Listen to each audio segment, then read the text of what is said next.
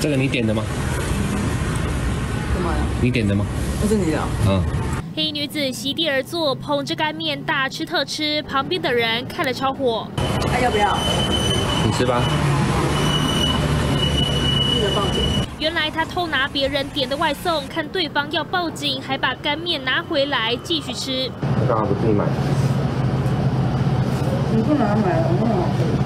女子一副无所谓的态度，边吃边笑，还用眼神狂瞪。她就是已故知名音乐人爷孙恋女主角林静恩。民众爆料，十号晚上十一点多，林静恩进入台中市中区公园路一栋大楼，擅自拿走他订的外送餐点，坐在旁边商旅外骑楼吃起来。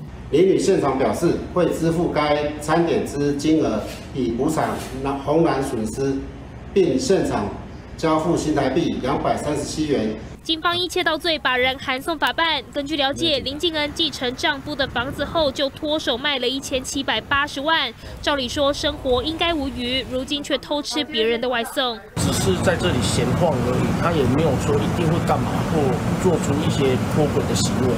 邻居说林静恩已经搬回台中老家跟爸爸阿妈同住父亲也曾带他到医院门诊戒烟戒酒没想到还是做出脱血行为争议再填一桩记者杨胜李云杰台中报道。